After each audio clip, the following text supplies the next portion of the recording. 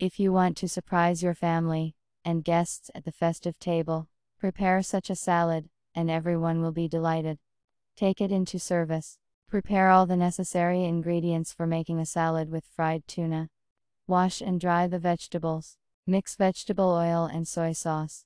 Dry the tuna pieces with a paper towel and put them in the marinade. Hold the tuna for one minute on each side. Roll the steaks in sesame seeds and fry in a dry hot pan on both sides for 1-2 minutes. Cool. Tear the lettuce leaves with your hands and put them in a bowl. Add the red onion, cut into half rings to the salad leaves. In Bulgarian pepper, cut off the stalk, remove the seeds, and cut into strips. Add the pepper to the bowl with the salad and onion. Cut the cherry into four pieces, and add to the salad bowl.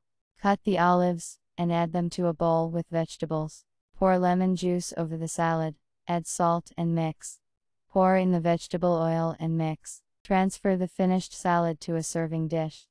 Cut the tuna into strips at an angle of 45 degrees, and spread over the salad.